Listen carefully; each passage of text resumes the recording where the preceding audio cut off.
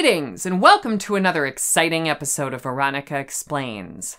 I'm Veronica, and today I'm going to talk about the IBM Model M keyboard, perhaps the most iconic individual keyboard in the history of modern computing. I'm also going to share how you can get it working on a modern computer running Linux, Windows, or Mac OS using a Soarer's converter, a very cool adapter which makes using this legendary keyboard reasonably simple. But first, let's talk about the history of this fantastic device. In the early era of personal computing, different manufacturers used varying layouts for their keys. While the QWERTY layout itself was pretty standardized, at least in countries with Latin script, there was lots of variation on other keys such as arrows, function keys, and other modifier characters. Sometimes, this can make working with a retro machine kinda challenging. Take my VIC-20 for example. This machine from 1980 has the arrow keys in this very unique location and requires the shift key to go up or left, an arrangement that feels archaic in the modern era. The Model M, on the other hand, feels pretty much like a modern PC keyboard, except of course for the missing super key and menu key. Now, there's a good reason this layout feels so familiar. IBM and their clones came to dominate the personal computing market by the late 1980s, particularly in business computing, but eventually pretty much everywhere else. Unlike some other companies, IBM put a fair amount of work into testing different keyboard layouts. They also borrowed some great ideas from other keyboard layouts, particularly the keyboard from the legendary DEC VT220 terminal. The end result was a fantastic improvement over other keyboard layouts, and thanks to IBM's dominance in the market, the Model M layout essentially became the standard for all computers to follow. For the first couple of years, this keyboard was a premium option for IBM's line of PCs and terminals. It was made the standard on the PS2 line. And most other keyboards have copied the layout ever since. So, okay, it's a progenitor to modern keyboards, but so what? What else is so special about it? Basically, it's built like a tank. First off, it's not what you would call a mechanical keyboard. A mechanical keyboard uses a complete switch mechanism for each key. The Model M is probably the most famous example of a different technology, the buckling spring keyboard. Basically, it's a spring that collapses when pressed, providing a particularly satisfying audio and physical click. Yep, satisfying. The spring mechanism itself on a buckling spring keyboard typically sits on top of the switch, which is usually either a capacitive or membrane switch. A switch mechanism that is not too dissimilar from modern non-mechanical keyboards. In the Model M, the regular keycaps themselves are two pieces, one that sits atop the spring, and another sitting on top of that. The membrane, which contains the actual key switches, is housed in a very robust protective housing thing, and all of this means that the Model M is exceptionally durable. The Model M was sold with IBM's machines starting in the mid 80s first with their terminal products, and then with their PCs and servers. Eventually, IBM spun off their keyboard manufacturing along with some other peripherals to a new company called Lexmark. They're still around, I think, but they aren't making keyboards anymore.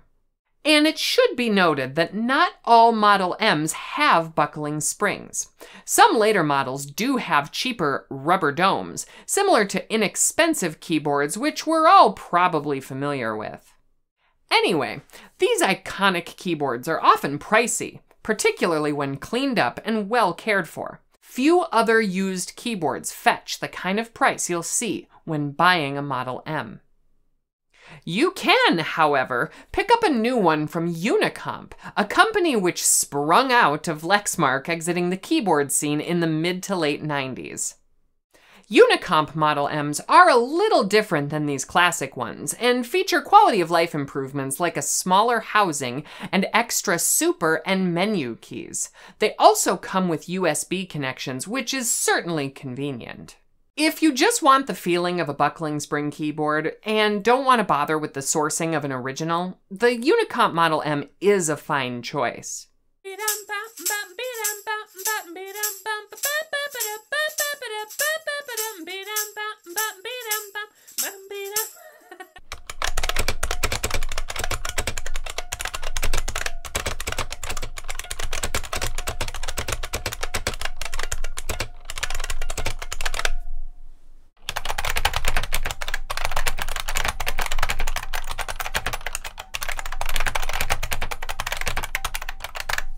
Anyway, as much as I've enjoyed my Unicomp Model M, the chance to use the same keyboard I had as a kid was just too good to pass up. This one right here popped up at Free Geek Twin Cities a couple weeks ago, and I knew I had to get it. I picked it up as soon as I could. It's here. And confirmed everything was working as expected. Near as I can tell, this is the exact model of keyboard used by the IBM PC-AT which I believe was the specific 286 I first learned to type and code on. It uses a 5 pin DIN connector, also known as an AT connector, to connect with the computer itself, and has the telltale silver IBM square badge in the upper right hand corner. So for me personally, this is the peak of nostalgia. Unfortunately, this particular model had a bunch of stickers on it, which of course I don't remember from my youth. I don't know for certain what exactly these stickers were from, but some folks at the Free Geek Discord seem to think it might be from a Multimate word processor sticker overlay. And to me, that makes about as much sense as any other explanation. Now, I'd keep these stickers on if they were in great shape, but these are not in great shape. Just to be clear, I know some of you will wince at the fact that I removed these stickers. I don't know if they came from the factory like this, but honestly, the glue was deteriorating and frankly, it was just gross. So I decided to clean them off of the keycaps completely. I decided against a total and complete teardown of the keyboard, mainly because the keys themselves are currently working just fine, and I figure I'll wait on a total teardown until I decide to bolt mod the keyboard, which I'm sure is coming. For those that don't know, bolt modding is when you remove the plastic rivets inside this keyboard and replace them with metal bolts, which some folks say helps improve the experience. There's some debate about that, so leave me a comment if you think I should do it. I'm a little torn on the subject. For real, this isn't one of those times where I'm saying leave a comment so that way, you know, the algorithm works. I also want to hear what you have to say. So leave me a comment if you think I should bolt mod this thing. And speaking of bolt modding and comments, a quick disclaimer. I'm not a keyboard snob. I tend to be a use the tool you like to use kind of person, and honestly, that's how I feel about keyboards. I really don't care too much about things like N key rollover or capacitive versus membrane design. Up until this point, my day to day keyboard has been the launch keyboard from System 76. It's a fantastic compact keyboard, but I've found myself drawn back to full size keyboards as I'm spending more and more time editing video. This is entirely a personal preference thing and isn't casting judgment on any other keyboards or any other types of keyboards that might be out there. Yes, I know they exist. And yes, I know various other hardware mods exist to convert one of these more permanently to QMK or USB or whatever else you fancy. But I want an easily reversible solution in case I run across my old 286 somewhere. Veronica. What? It could happen. Anyway, some of you undoubtedly will want to debate about Model F versus Model M or the benefits of various hardware mods, and that's fantastic. Just be aware that for my needs, I'm only interested in a keyboard that feels good and reminds me of my youth with the PC-AT, and that's about all. Anyway, first off, I took the keycaps off carefully, including both parts of the cap. I soaked those in some dish soap and water for a bit, then scrubbed each cap clean. I then let them dry for 24 hours because obviously I didn't want to get water inside the mechanism. I then did everything I could to clean the disgusting gunk out from under the keys. Yuck. When the keys were dry, I started reassembling the keyboard, taking care to properly seat the stem of the keycap over the spring. I only had one spring come loose, the end key. Luckily, I was able to stretch it out a little bit and then get it reseated, but I suspect this will not last very long. I'll follow up with that in a future video if it ever becomes an issue. When the whole thing was reassembled, I had a bit of a moment with it. You know, I didn't expect to get emotional over this. Hey, Ami. I'm feeling a little overwhelmed staring at the keyboard I learned to type on. It just feels incredible. I'm glad I found this.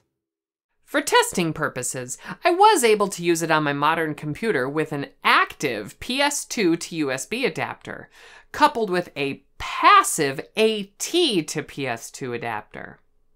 Keep in mind that you can't just use any adapter to hook one of these up. Not all PS2 adapters are compatible with all keyboards. Older keyboards may not have the requisite controller to be able to speak to a USB connection. And while you can use some off the shelf active adapters to hook this thing up, I wanted something with a bit more flexibility that would be plug and play on the various pieces of equipment I use throughout my work. And that's where the Soarer's converter comes in. This adapter contains a microcontroller inside the USB plug, which can adapt your Model M keyboard to a modern machine. The Soarer's converter can go further than simple adaptation, though. It can let you remap keys, establish layers, and even set up macros. I picked this one up on eBay for about $40 American, and I'll throw a link in the video description. Please note, though, that different Model Ms use different connectors. Many use PS2 connectors, but mine uses this 5 pin AT connector, and still others use terminal connectors.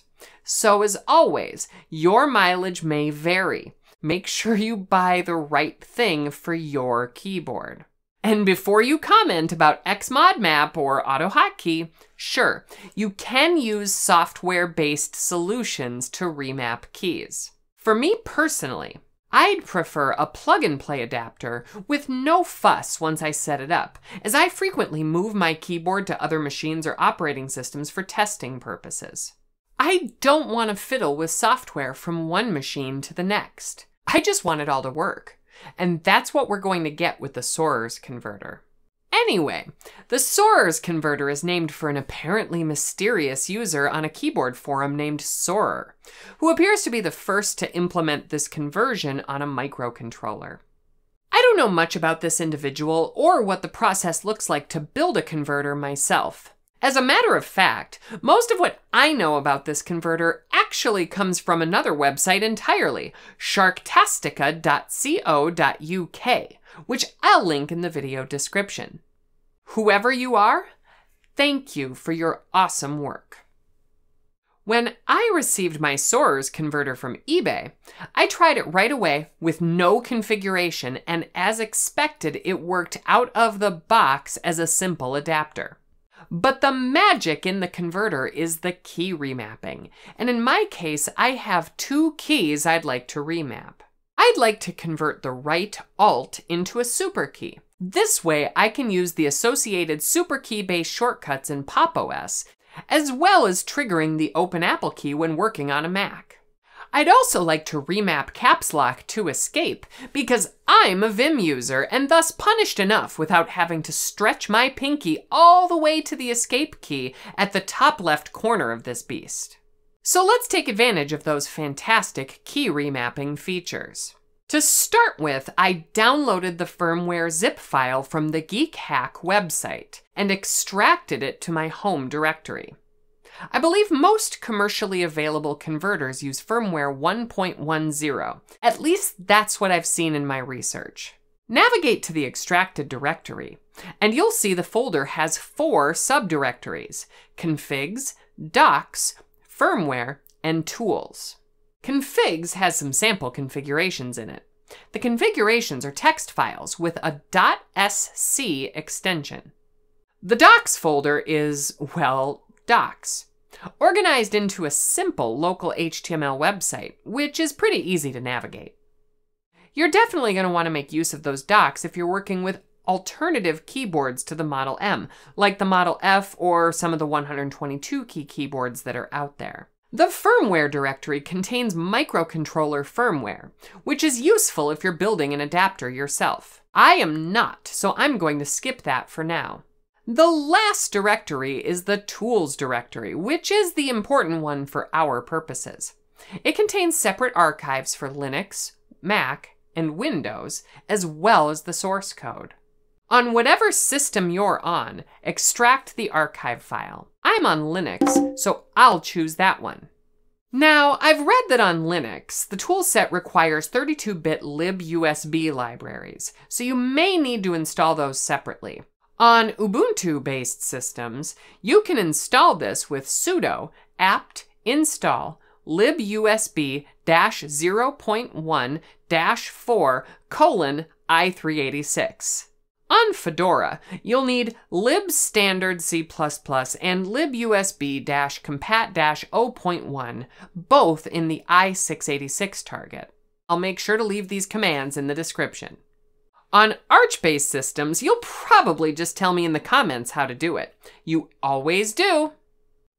From the appropriate subdirectory inside the Tools folder, I can see six programs, but we're only going to be covering two of them today. SCAS converts a text config file into a binary file, which can be flashed to the converter itself with SCWR. Now, there are some sample config files in the configs folder for you to peruse, which may be useful if you want to get into some of the advanced features. I created a simple config file here in the configs folder called veronica underscore layout.sc. This code file format appears to use the number sign as a comment, so I added a quick comment at the top of the window. Then I added a remap block statement.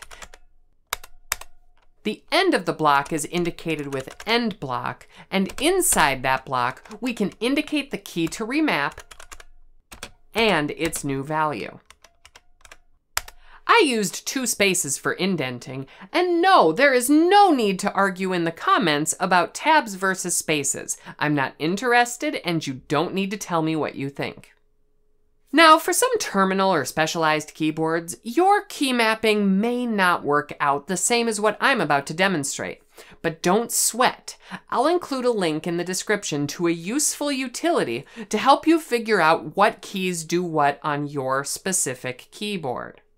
That said, if you have a standard Model M, from what I can tell, you probably won't need to use it. Mine is pretty basic. Inside the remap block, I indicate that I want caps lock to remap to escape, and I want R Alt, the right Alt key, to remap to LGUI, the Soarer's converter name for the left super key. I save the file and exit Vim. Then we navigate to the appropriate tools subdirectory for our OS.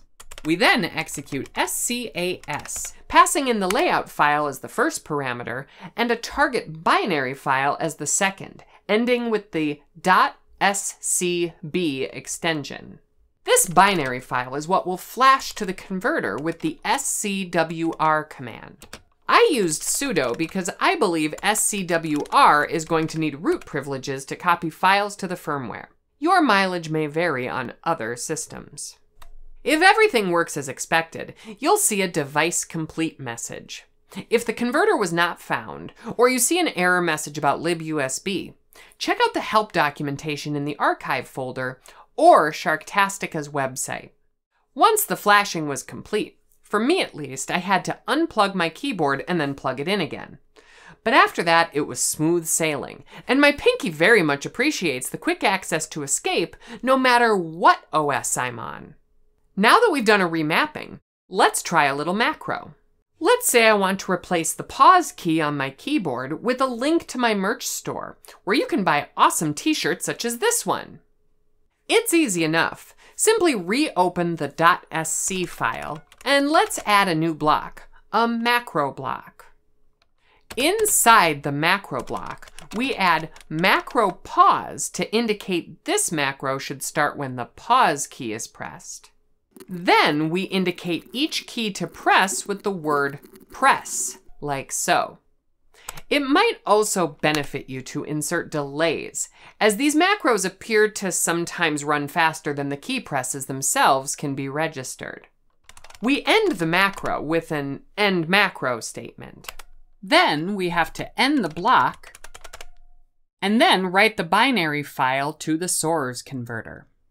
Now, when I press pause, I save a few keystrokes, letting folks know a great way to support the channel. Hint, hint.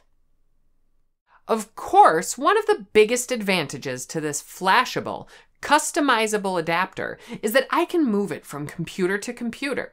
And these adaptations worked flawlessly on every device I tried it on. So is the Model M and the Soarer's converter worth it? Well, for me, it absolutely is. I grew up with this keyboard, and the ability to use it again with minimal effort is extremely worthwhile for me. Of course, and as always, your mileage may vary. If you just want the buckling springs and you don't care so much about the nostalgia, a Unicomp keyboard is quite possibly a more reasonable investment. It'll have USB and super keys out of the box, and it's probably easier to use in the long run. And if you just want clickiness or you're a competition gamer or something, you might want something with mechanical switches and N key rollover. But from where I sit, this was an excellent investment. I spend hours and hours typing each day, and this keyboard feels so great to use. And looking down at this classic IBM badge reminds me of growing up. And that reminder of where we came from is, for me at least, absolutely worth the energy. Maybe it is for you too.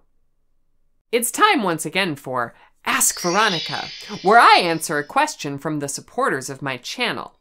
Today's question is Why is COBOL still a thing?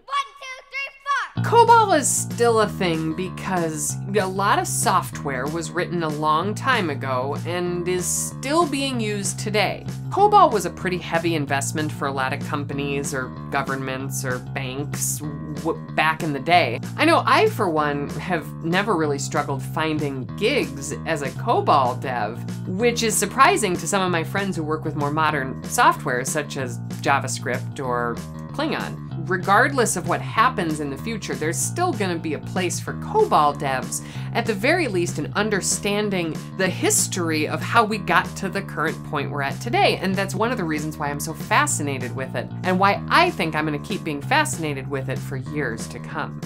And if you'd like to help support the channel and maybe get a question answered on the air, you can find membership links at support.linux.mom. Tiers start at just a buck a month, and it's probably the best way to help support the channel. You can also buy a nerdy t-shirt like this one at vkc.sh slash merch. In any case, I am so grateful to all of my supporters and to all of you watching. Thank you so much.